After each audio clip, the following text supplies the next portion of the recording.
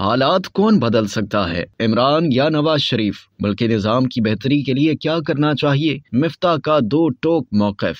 सबक वज़ीर खजाना मिफ्ता इसमाइल ने कहा है कि मुझे नहीं लगता कि मुस्लिम लीग नून आइंदा इंतबात में क्लीन स्वीप करेगी। ना इमरान खान हालात बदल सकते हैं, ना ही नवाज़ शरीफ। जब तक मुल्क में मुनजम असलाहत नहीं लाई जाती, तब तक कोई सियासी रहनुमा इस निज़ाम को बेहतर नहीं कर सकता। एक खसूसी इंटरव्यू के दौरान मिफ्ता इसमाइल ने एक सवाल के जवाब में बताया की वो अब इंतबी सियासत में हिस्सा नहीं लेंगे और अपने सेमिनार्स के बाद सोचेंगे की उन्हें ज़िंदगी में आगे क्या करना है। उन्होंने इस बात की भी तस्दीक की की वो ना हुकूमत का हिस्सा है और न वो अब हुकूमत से रबते में है। सियासी मसाइल पर मफ्ता ने कहा कि पाकिस्तान ने बहुत से लीडर देखे हैं। हमने माशाल्लाह हाइब्रिड हुकूमत इमरान खान, आसिफ अली जरदारी, नवाज़ शरीफ, शहबाज शरीफ देखे हैं। लेकिन एक चीज़ जो हमने नहीं देखी, वो है लोगों की जिंदगियों में हकीकी बेहतरी। सबक वज़ीर खजाना ने कहा कि हमारे पास अब भी स्कूल जाने वाले बच्चों की नस्ब तादाद स्कूलों से बाहर है, जिसका मतलब है कि वो बड़े होकर पढ़े लिखे नहीं होंगे। और अगर आपकी आधी आबादी पढ़ी लिखी नहीं है तो मुझे इससे कोई फ़र्क नहीं पड़ता कि वज़ीर खजाना कौन है।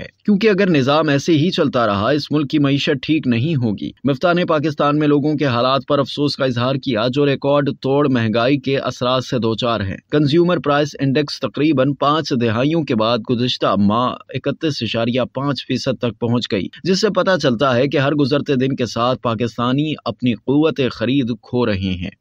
अब तक के लिए इतना ही। मजीद जानने के लिए सब्सक्राइब कीजिए डेली जंग यूट्यूब चैनल और लाइक कीजिए डेली जंग फेसबुक पेज।